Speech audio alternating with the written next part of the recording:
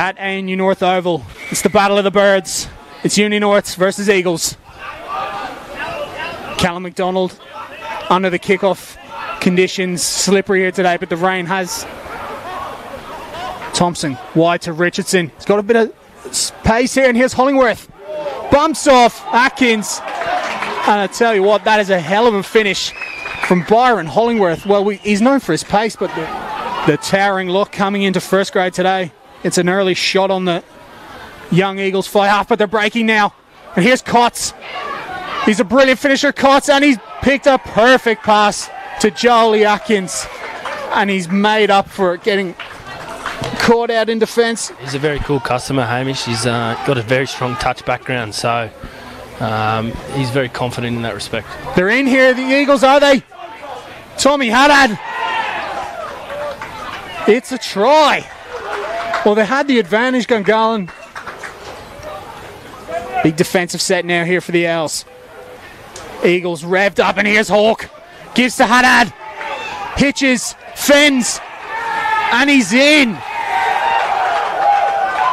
They're in again, the Eagles. Lucky. That was kind of when the rivalry started in earnest that day, and it's, it's just built from there, hasn't it? Yeah, you're right. I think there was a couple of yellows and a red, and in, in that space where they were down to 13, they actually managed to score a try and, and nearly stole it away from us. So it's been it's been developing. Um, it's good. Whoa! Stealing another one.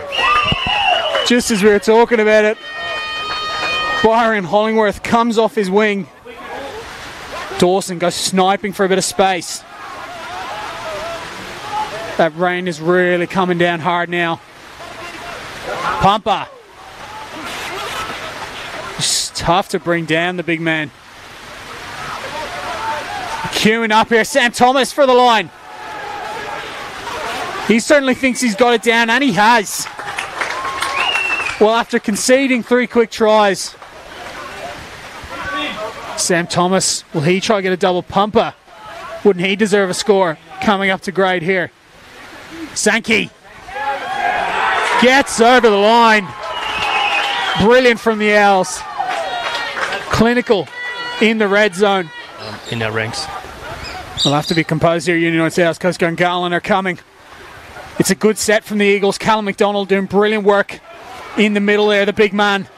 Such an important job, the lock. And they are over here.